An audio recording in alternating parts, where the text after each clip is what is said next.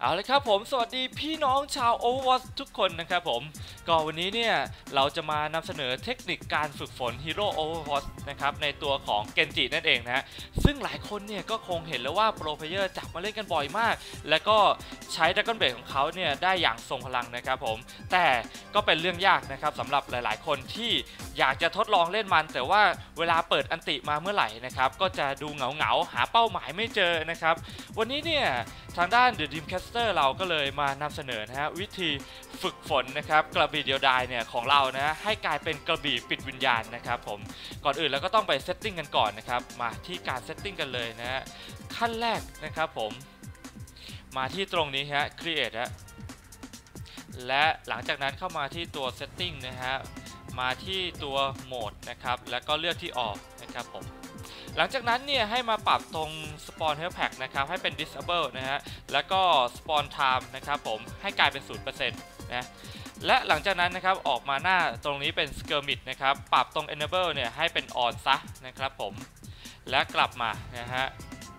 หลังจากนั้นนะครับผมมาที่ตัว Map นะครับปิดตรงนี้ให้หมดนะฮะให้เป็นตัว Off ให้หมดเลย และมาที่ Skirmish ด้านล่างนะครับปรับตรงตัว King's Row นะครับผมทำไมต้องเป็น King's Row เพราะว่าหน้าทางออกของ บ้าน King's Row เนี่ยมันแคบนะครับเหมาะกับการที่จะไล่ฟันฝั่งตรงข้ามได้ดี และหลังจากนั้นมาที่ฮีโร่นะครับไปที่ตัวอันนานะครับผมปรับสกิลของอันนาฮะให้ไปให้กลายเป็น disable นะฮะยกเว้นอัติเม e ของเขานะครับแล้วก็ปรับตรงอัติเม e generation นะครับให้เป็น 500%และ damage นะครับผมเหลือ 10%นะฮะผมแล้วมาที่ตัวเกนจินั่นเองนะฮะนี่เป็น key man ของเรานะครับตัวเกนจินะครับผมให้ปรับ Ultimate Generation นะครับผมเป็น 500% ส่วนตัว damage นะครับผมเหลือ 10นะฮะแล้วก็ healing เนี่ยเป็น 500 นะฮะ เลือดก็ 500%เช่นเดียวกันนะครับผมหลังจากนั้นเนี่ยให้เรามาปรับนะครับผมคู่ต่อสู้ของเรานะครับเข้าไปปรับฮีโร่ทุกตัวที่จะเป็นคู่ต่อสู้ของเรานะครับปิดสกิลของเขาให้หมดปิด ultimate ของเขานะครับผมนี่ฮะ นี่ครับผมปรับทุกตัวเลยนะครับที่จะเป็นคู่ต่อสู้ของเรานะครับ แล้วก็มีแม็กครีลูซิโอและพอปรับเสร็จแล้วนะครับ ผมให้เรากด save ด้วยนะครับผม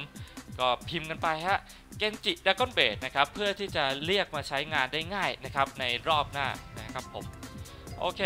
หลังจากนั้นนะครับผมเราก็จะได้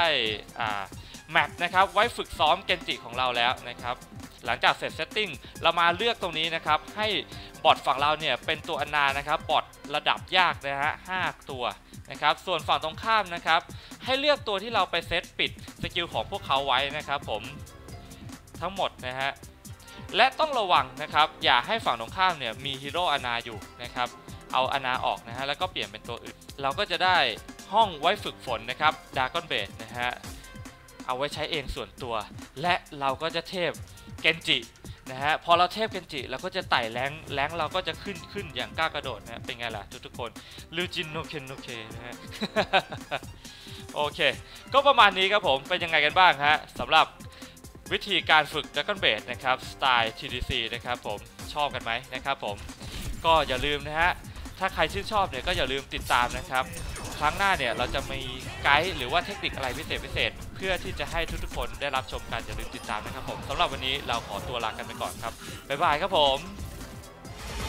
We can live forever.